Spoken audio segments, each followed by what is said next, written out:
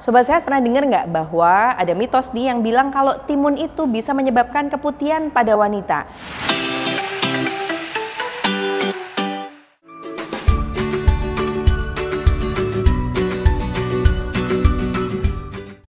Hai Sobat Sehat, jumpa lagi dengan saya Dr. Silvi di channel Dokter 24. Saat ini saya sedang ada di Lucid Cafe Taman Siswa Yogyakarta.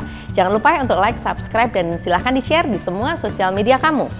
Sobat Sehat pernah dengar nggak bahwa ada mitos nih yang bilang kalau timun itu bisa menyebabkan keputihan pada wanita? Benar nggak ya? Mari kita bahas. Jawabannya adalah salah. Jadi timun itu tidak menyebabkan keputihan pada perempuan.